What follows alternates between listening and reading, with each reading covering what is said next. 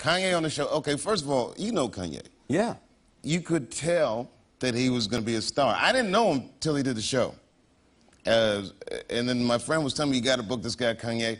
I said, okay, I booked the guy. And it was like Muhammad Ali in Olympic Village. Like he just knew he was going to get the gold. and it was the day that Jay-Z's Black Album came out. And it was me and, and Common and Kweli and Kanye, this guy that nobody knew. And you know, the record starts and Jay-Z says on one record, Kanye, Easy, you's a genius. You did it again. And Kanye stood up. First time he spoke all day, he goes, stop the record. and rewind that. You're like, what? We're like, who is this guy?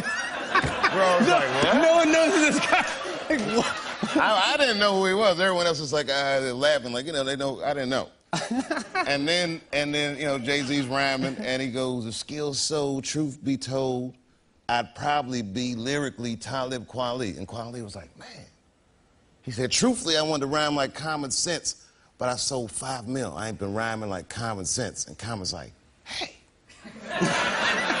I'm not sure how I feel about that. Yeah, it was getting weird. And yeah. then afterwards, we go to the edit, and this is when everyone knew Kanye was going to be a star. And we were watching sketches. We were like, yeah, we could watch some sketches. No one's ever seen these before. We show him like the Rick James sketch and all these great sketches.